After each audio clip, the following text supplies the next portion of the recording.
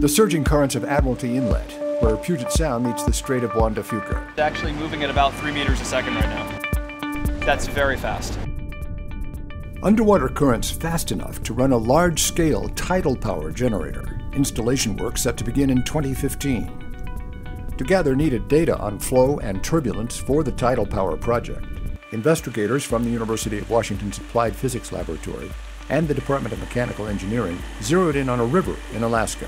A river acts a little bit like uh, a micro version of everything we see in a tidal environment. We're here on the Kvichak River and a company called the Ocean Renewable Power Company has installed a turbine right over there in the fast part of the river. And the turbine's making electricity for the local village here, the village of Igiugig. APL's role in this project was to measure the flow around this turbine.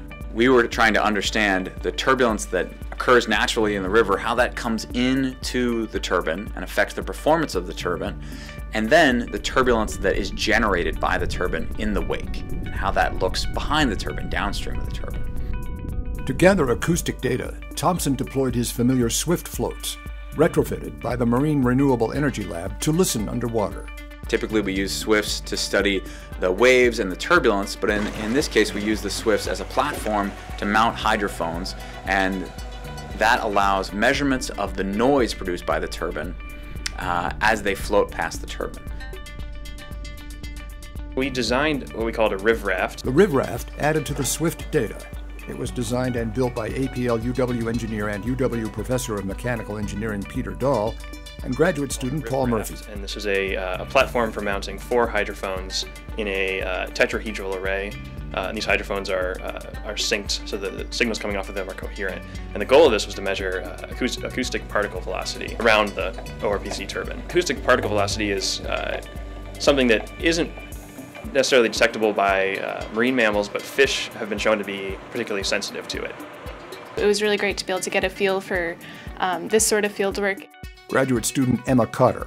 I think that tidal energy and um, other forms of marine energy definitely have a future. There needs to be a lot more research in how it can affect the environment around it. It was really exciting to see this turbine deployed in this rural village, uh, generating about 13 kW continuously, which is a pretty substantial fraction of the village load, uh, and the sort of thing that could produce continuous power year round. From river energy to tidal energy is the next step. The Admiralty Inlet tidal generator will produce power for customers of the Snohomish County Public Utility District. What we plan to do is to actually install two turbines that will look a lot like this.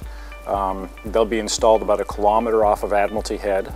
Each of the turbines will have a rotor, which is this portion that rotates here, with a diameter of about 20 feet. They'll each produce at maximum output about 300 kilowatts, so roughly enough for a couple hundred uh, homes.